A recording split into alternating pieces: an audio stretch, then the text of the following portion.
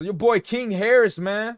What is the real? He said he said he lived with his grandma growing up despite the riches that his mom and dad had. They picked him up to film. Let's see. God, what do you feel like they got on you that they shouldn't have on you? Cause I feel like with them probably seeing you grow up, they just got like, you can't be you.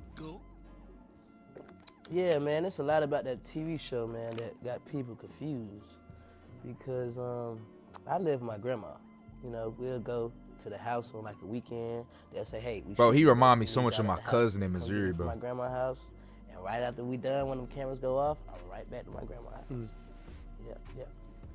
And then you went to uh, this is what you used to be. Damn, that's fucked up. This what I used to be. No, not right now. We about to pull it up. Oh, okay, okay. That was before I had that was that was the curl after. Nigga look like a dreads dog, right bro. there. You went from that Yeah, to this.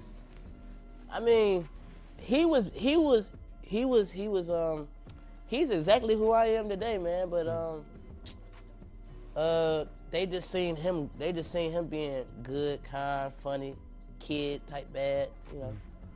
I'm gonna be real, bro. That's- I kind of feel for him a little bit, man. I feel like he been rejected by like,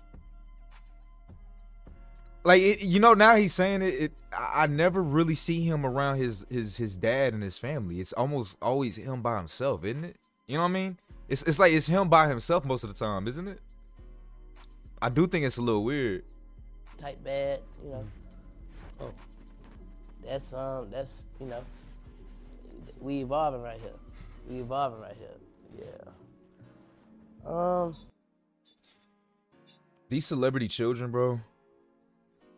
They a different breed. These celebrity children are different, man. It's a blessing and a curse to grow up like that. Cause y- yeah, your your mm-hmm. mom and dad didn't really have shit, and now they quote unquote trying to give you a better life that they didn't have. But like, there's a lot of stuff that's that's missing from that. Like that grind coming from the bottom, it, it turns you into something different. And these kids don't it's like when I was going to like it's like when when my mom and dad took me out of quote unquote the hood into like a more suburban area. The the like the black people there try to be hood, you know, and whether or not they still had like ties to the hood, it's like you compensating for something. You're trying to overcompensate. And I'm not saying that you, you know, I'm not trying to test question your gangster, but I'm just saying you you, missing you missing something there, bro. You missing something, man.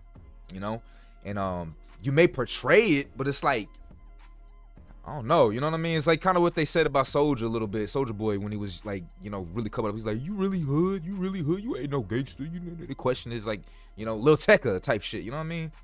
Anyways.